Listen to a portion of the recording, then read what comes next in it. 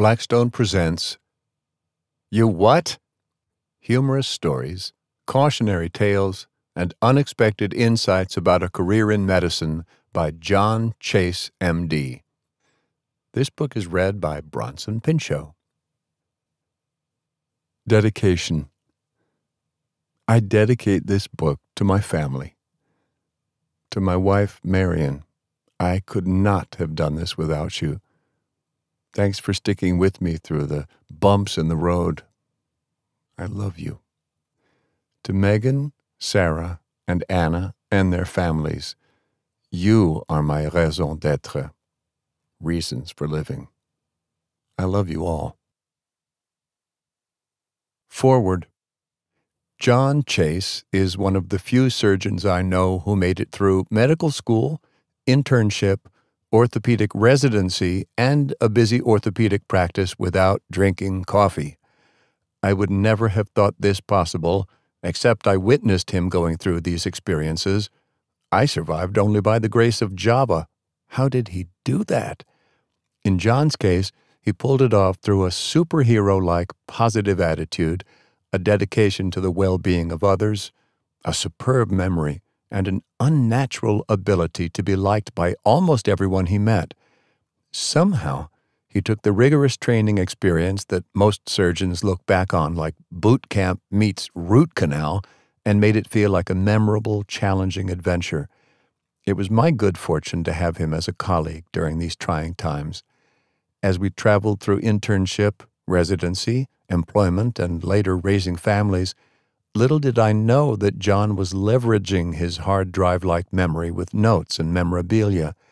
I might have been a little more judicious in my alcohol lubricated rants about the various personalities and institutions we encountered had I known a book was being planned.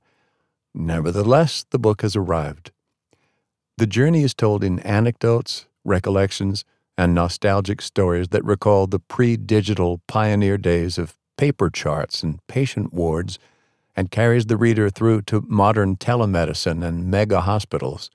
The constant themes, however, are the human stories of patients' experiences, doctor patient travails, and the reality show like drama of the day to day surgical lifestyle.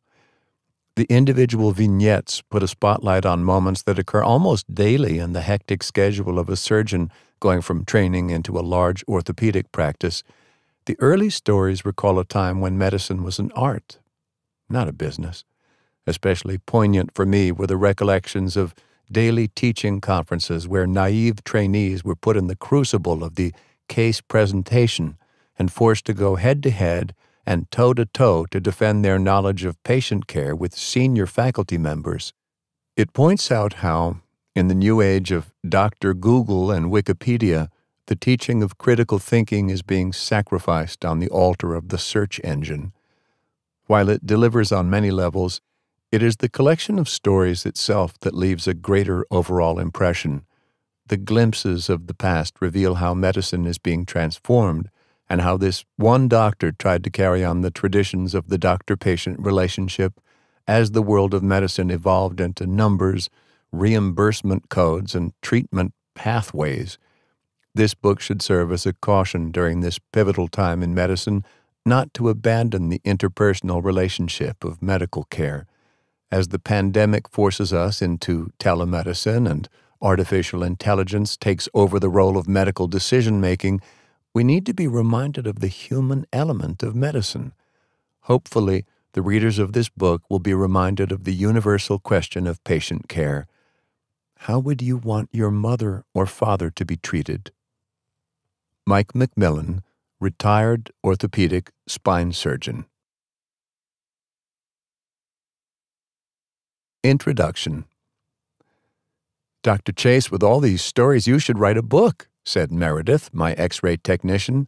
I said, Maybe I will.